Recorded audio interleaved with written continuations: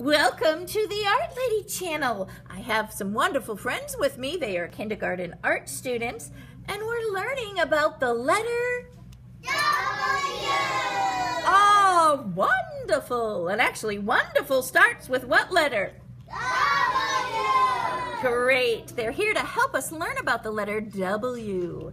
And what are we going to be making today? A walrus. Great. We're making Mr. Walrus. But let's first start off and see how to make a W. For some kids that don't know how to make a W, we're going to take our lined paper. And if you make a proper letter W, you first start off with your pencil or pen at the very top of the Paper. and on the you have to touch the what? The the line. And I'm going to go down diagonally. So watch how you make a W. Down diagonal, then up again, and then down again, and then back up again. That's the letter. W.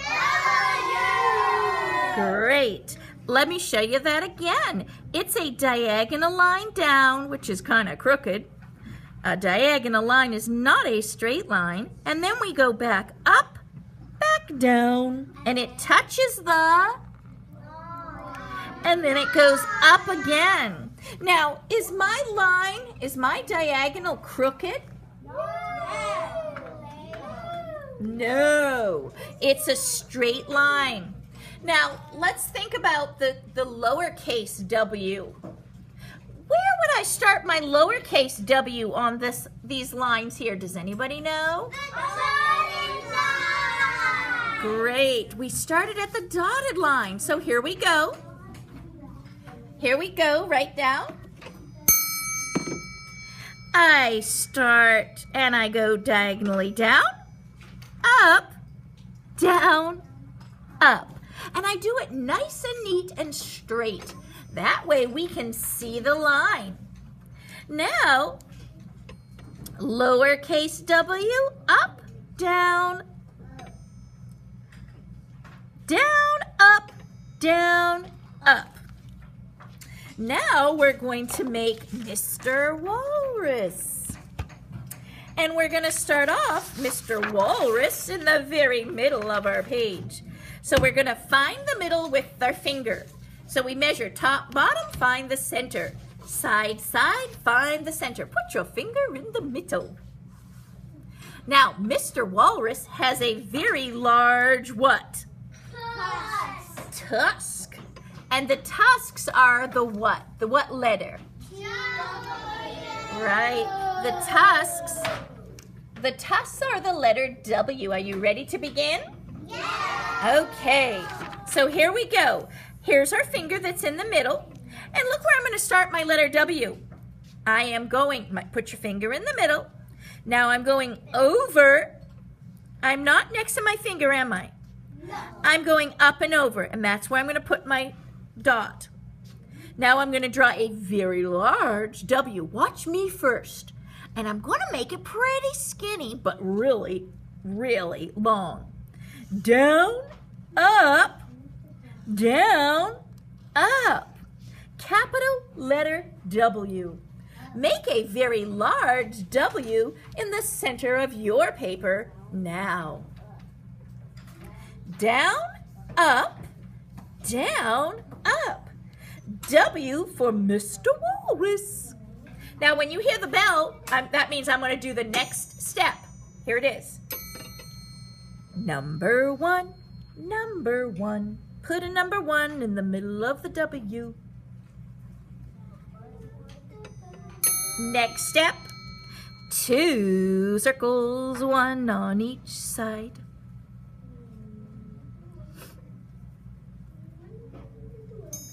Next step, curve it down, curve it down. And I'm going on the outside. I'm taking my circle, drop it down. And I'm coloring in my circle and connecting it to the edge. Coloring in my circle and connecting it to the edge. That's the not the walrus's nose. The eyes are up higher. And what are they called? Nostrils. Whoa, great listening. We make lots of nostrils in art because we like to draw faces and animals so they know the nice word, the nostrils. Okay, here we go. Ready? Straight line above, really close to the nostrils now. Straight line. And now we're gonna go, look at this line. Artists use their eyes to see and their brains to think, and we look at how something is shaped. So look, here I am at my straight line. We're gonna make this line next. Look, down, around, and back to the number one. Does it go past the letter W? Yeah. Yeah, that's how artists think. They think about one thing in relationship to another. Yeah, when I'm making this line now, it's gonna go past my nostrils. So here we go. Watch, watch Miss Belushi. Down and around, past the not, past the letter W, right to the top of number one. Down and around. It's kind of like a giant letter C. Now, somebody tell me what's going to happen. Can you predict what's happening on this side? What's going to happen?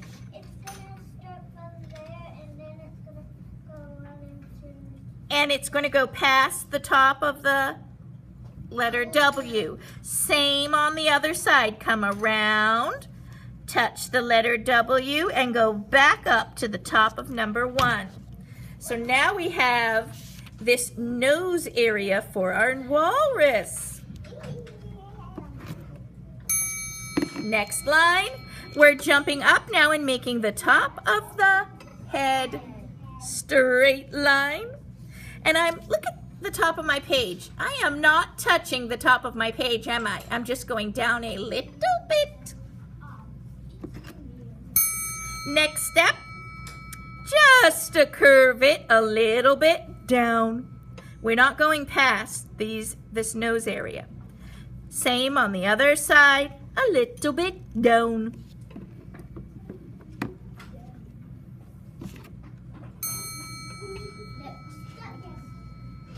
Two small circles, one and two. Color them in, color them in. Now that's the walrus's what? Eye. Good. Now we're doing a curve on top. Touch the eye, curve on top. Touch the top of the eye, curve it down, curve it down, down on each side. Now walruses are quite, would you say, what, what would you say for the size of a walrus? It is quite what? and large and big. So sometimes they have lots of skin that have, what are these called? Wrinkles. Yeah, wrinkles. Let's put those in. A few little wrinkle lines. And I'm going across.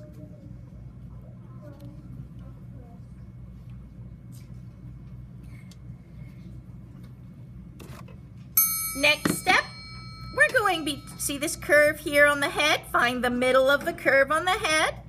And I'm coming down and around. And stop before you get to the teeth. Go down, around, before you get to the teeth. Stop. One giant wrinkle line. Find where you curve on your wrinkle line. Do it again. Down, and it's a diagonal down. Around. And then skip a space and do another wrinkle line. See how I made it across horizontal? Under his teeth. Now let's find this line. We're coming up. See this little part of the padding around his nose? I'm going next to the tooth, jumping over into this padding, and I'm going to go down. I'm coming past this, see this line here? I'm stopping. And then I'm going to curve it round and under the line. Round, oops, round and under this line. And it's okay if these aren't exactly even because walruses are very large they're kind of like a blob. So if you're off a little bit, it's okay. You can just add another blob. Next step, come up on this curve and I'm gonna go down, down to the bottom of my page. He's gonna be a very, very large walrus. And you can kind of tell he's a large walrus by the size of his teeth. He's an older, large walrus. What did we not do yet in this nose area? What are we missing? Yes? Yes? The whiskers. Oh yeah, let's put some of those in. Now watch how I do that. We're gonna put about an uneven number, not an even number, of dots. Right now I have five, how about six, seven? One, two, three, four, five, six, seven. If you want to put five, that's fine because that's an uneven number. If you want to put nine, that's fine because that is an uneven number. And we're going to put an uneven number of whiskers. One, two, three. Look how I do the whiskers. I flick them. Watch, watch me. Up, sideways, down. And make some real short sideways, down, up, sideways, down, sideways, sideways, sideways. We make a few whiskers. Make them different lengths. You don't make them all really long. Now we're to have another wrinkle on this side and then we'll be done our walrus. Here we come out over the, here we're to just connect it to the edge of the page. And there is our giant walrus. If you want to add more little wrinkles, you can. And if you want to write the word walrus, let's do that. W, since we already know how to make W, up or down rather, down diagonal, up, down, up. W, A, curve round, like the letter C, and down. A, L, straight line down. R, straight line down, curve it around. U, straight line down, around, straight line down. S, curve it over, curve it down, around and back up. Walrus. Now we're done our walrus. Let me see if I have somebody who would like to share my friend. Here's a friend. Here's a friend's walrus.